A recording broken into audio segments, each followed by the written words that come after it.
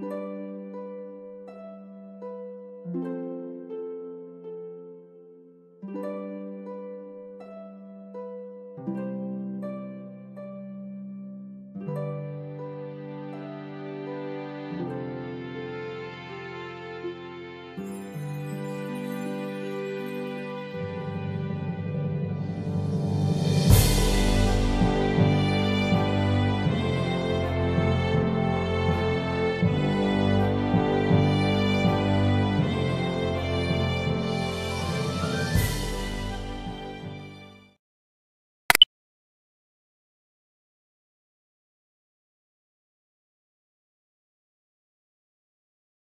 盲点ではある。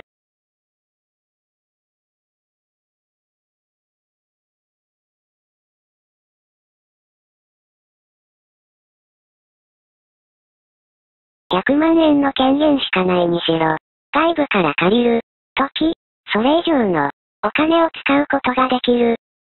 わけだが、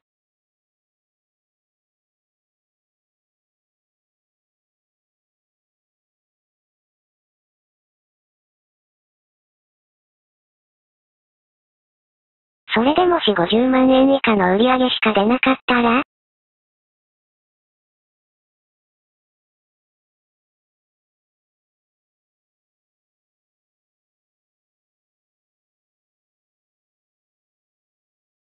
会社をクビになりつつ、個人で、数百万円レベルの借金、それを背負うことにはなる。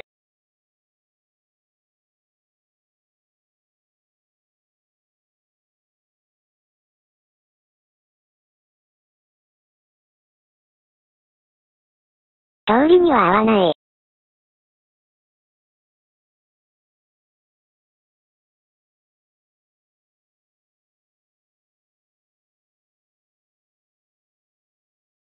しかし、実績を作らんとしたら、方法論の一つといえば言える。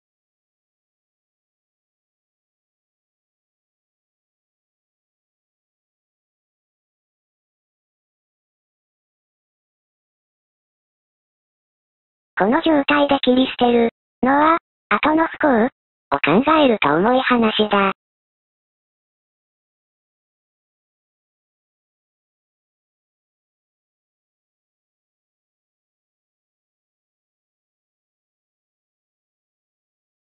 道理ではないが、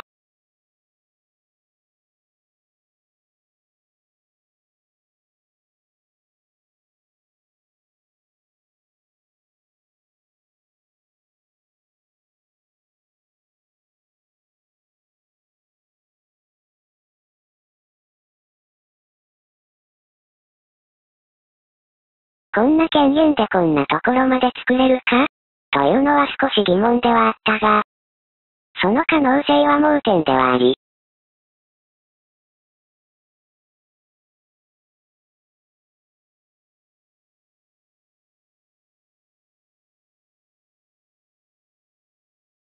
打開されたか否か、それはここではわからず、それ、がここまでの騒乱というか、個人的には重い話になった。そこには何かの意図というか、システム？がありそうな。